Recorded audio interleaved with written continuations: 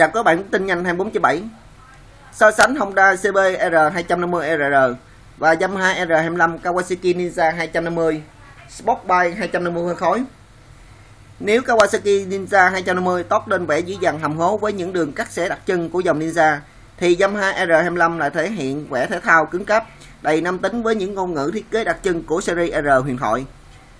Còn với Honda CBR 250R đây là sự chuyển mình hoa lệ của ngôn ngữ thiết kế không có những đường né đơn giản như ở phiên bản trước. Ở phiên bản mới này, CBR 250RR tót lên vẻ ngoài siêu ngầu với những đường nét thiết kế đầy góc cạnh hầm hố, nhưng vẫn không thua kém phần tinh tế. Qua phiên bản so sánh ta thấy Ninja 250 sở hữu chiều dài cơ sở với 1400mm, kế tiếp là CBR 250RR với 1389mm, thấp nhất là R25 với 1380mm. Qua đó ta thấy Ninja 250 sẽ ổn định hơn với hai đối thủ khi chạy tốc độ cao nhưng bù lại tính linh hoạt trên con đường phố thì thuộc về R25. Về khoảng sáng gầm R25 chiếm ưu thế cao hơn khi đi trên những con đường xấu với khoảng cách cao nhất là 160mm, kế tiếp là CBR 250RR 145mm, cuối cùng là Ninja 250 140mm. Về chiều cao yên xe, R25 vẫn là cái tên nổi bật nhất với chiều cao yên xe tính từ mặt đất là 780mm, trong khi Ninja 250 là 785mm, còn cao nhất là CBR 250R như vậy Yamaha R25 là mẫu xe thể thao khả sử dụng khá tốt trên những con phố. Đúng với định hướng ban đầu mà Yamaha phát triển mẫu xe này, một chiếc xe sử dụng hàng ngày. Còn Ninja 25 đây là một chiến mã tốt nhất cho những đường dài với tính ổn định cao hơn khi chạy tốc độ cao. Còn với CBR 250RR là một chiếc xe thể thao thực thụ khi sở hữu những dàn di động khá thấp, trọng lượng người ngồi khiến người ta điều khiển phải chồm người đúng nghĩa chứ không phải đơn thuần một dòng xe thành thị như các đối thủ khác.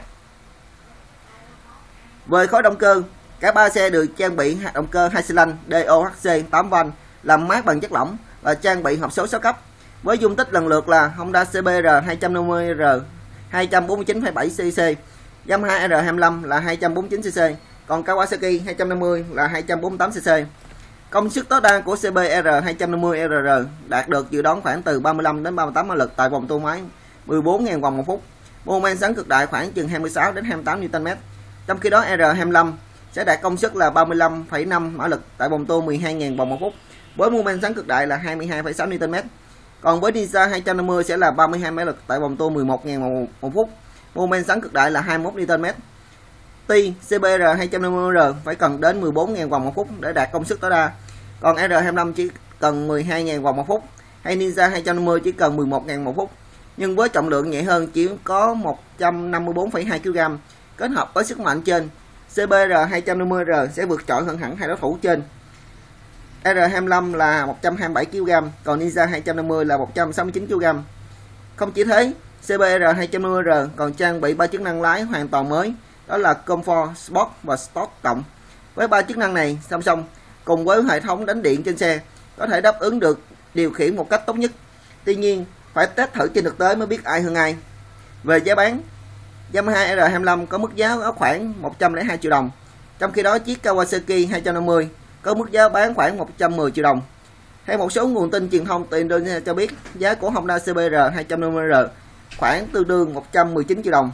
Cả ba phiên bản được trang bị phanh ABS nhưng CBR 250R còn trang bị thêm phục Unshadowed cùng một số loại chi tiết hiện đại khác. Cảm ơn như theo dõi này. Hẹn lại video kế tiếp nhớ like hoặc share nhấn subscribe.